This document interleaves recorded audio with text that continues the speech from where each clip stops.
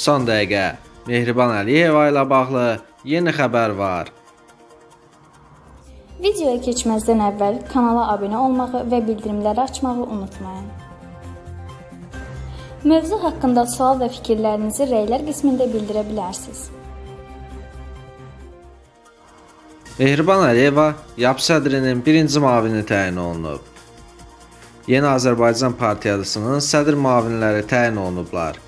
Yeni Azərbaycan Partiyasının yeni nizamnaməsinə uyğun olaraq Yeni Azərbaycan Partiyasının sədri cənab İlham Əliyevin əmri ilə Mehriban xanım Əliyeva partiya sədrinin birinci müavini, Əli Əhmədov partiya sədrinin müavini, Tahir Budaqov partiya sədrinin müavini mərkəzi aparatının rəhbəri təyin olunub.